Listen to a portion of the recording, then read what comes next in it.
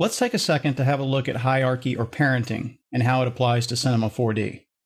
A hierarchy is an arrangement of items in which the items are represented as being above, below, or at the same level as one another.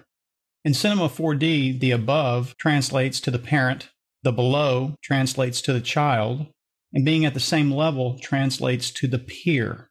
So, what does all this mean? Well, let's take a look at an example. Let me just get a couple simple objects out here in the scene. Let me move the cube above the sphere.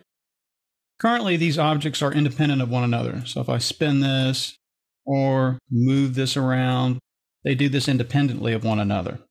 However, if I take the sphere and put it underneath the cube, like so, then I've created a parent child relationship. Now, how does that work? Well, if I move the sphere, it still moves like it did before.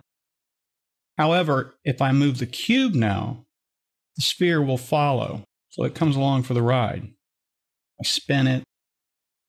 So this is a simple parent child relationship. Now, if I break this relationship, now they're both independent of one another again. And I come over here, I drop a null in the scene, and we'll talk more about nulls. But one thing you can do with nulls is you can group objects with nulls.